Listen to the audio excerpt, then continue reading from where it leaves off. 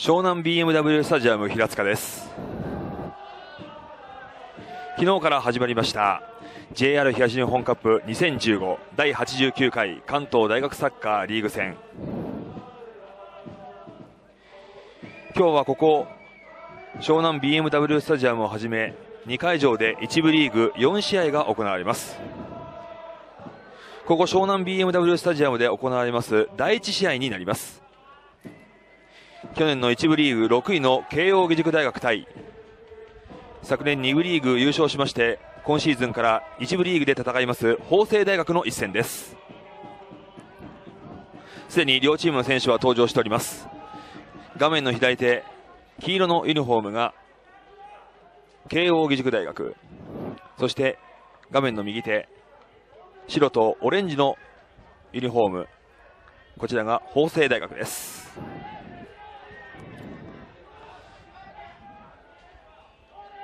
1箇所にそれぞれ集まりまして今エンジンが組まれました。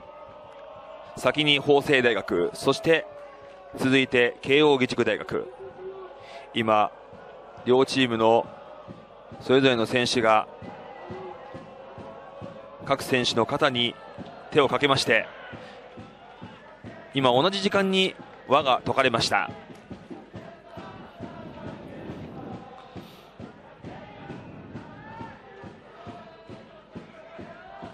まもなく前半45分が始まろうというところです。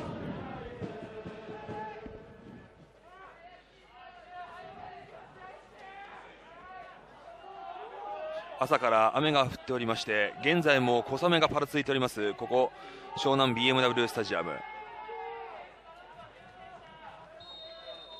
前半45分今主審の笛が吹かれました。慶応義塾大学のキックオフで前半始まりました。画面を見まして左から右に攻めますのが慶応義塾大学そして右から左に攻めますのが法政大学です。試合開始とともに両チームの応援歓声がこだましております。ここ湘南 BMW スタジアム平塚。広いスペース右サイドからクロスを上げていきます。頭で合わせていく。エリア内でボールが高く上がっている。なおもつないでいこうというところですがここは今ゴールキーパーが追いかけます。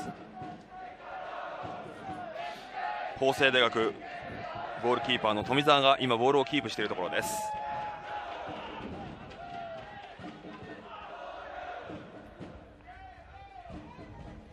法政大学の守護神富澤今キックされました。ヘッドで返していく。ここは押し長門が前に上げていきます。リサルが追いかけますがゴールキーパー慶応のゴールキーパー宮原。ヘッドで返す。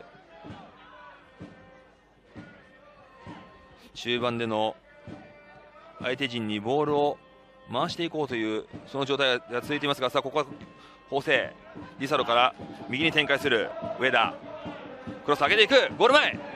今度は逆サイドから。白石。シュートを打つ。あ打てない。もう一回つないでいきます。ちょっと流れていますがもう一度終盤から組み立てる。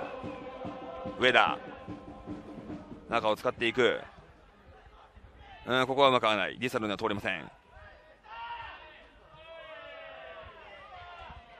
なおも法政がつなぎます。長門慶応の加瀬沢に当たってタッチを割りました。法政のスローインです。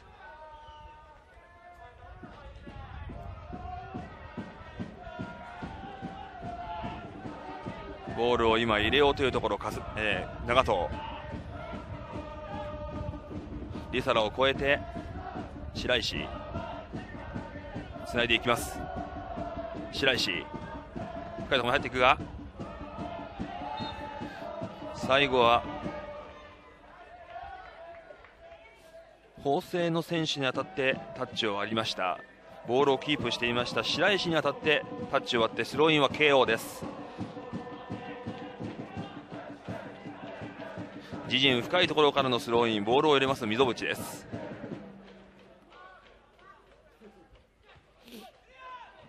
頭でつないでいく。このボールを法政が拾おうというところですが相手に当たってタッチをありました法政のスローイン。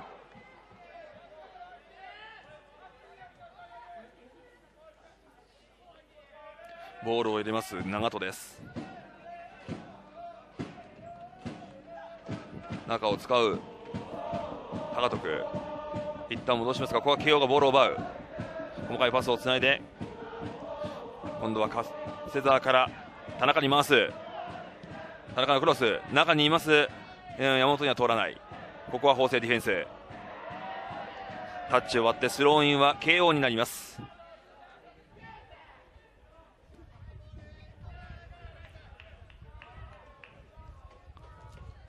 今度は慶応がチャンスをつかむというところボールを入れました溝淵このボールを受けます粕澤自ら中に絞っていこうというところ。ここはディフェンスクリアします。ここは足を出してさあもう一度作る。溝淵から。粕澤そして葉山、うん、ここは溝淵には通らない。攻撃参加しようとさあ今度は法政。早い展開で戻っていきますがここはゴールキーパーにボールを戻しました。宮原から縦に送りますが今度は右サイドボールが流れています。ロングフィード。これはタッチを割ってスローインになります。それでは両チームのメンバーをご紹介いたします。まずは慶応義塾大学のスターティングイレブンです。ゴールキーパー1番宮原ディフェンダー3番溝淵4番宮地2番望月6番井上。ミッドフィルダー8番山田10番葉山9番粕澤32番松木。ォワード20番田中11番山本です。シュート落ちますがこれはゴール左に切れました。リザーブです。ゴールキーパー12番田野。ディフェンダー15番山崎。16番飯高。ミッドフィルダー13番手塚。27番小谷。フォワード14番渡辺。19番森下です。